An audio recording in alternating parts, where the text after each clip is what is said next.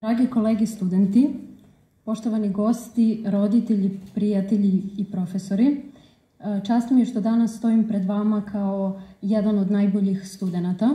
Ovaj trenutak predstavlja krunu našeg truda kao i zalaganja u proteklim godinama. E, zahvaljujem profesorima koji su nesebično delili svoje znanje, e, kao i iskustvo, kao i celom osoblju akademije. Eh, hvala porodicama i prijateljima na podršci.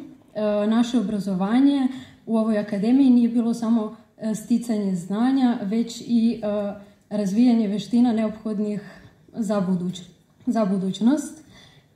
Verujem da izlazimo spremni pred sve izazove budućnosti. Osjećam odgovornost da svojim radom doprinesem zajednici i društvu i verujem da tu odgovornost delimo svi.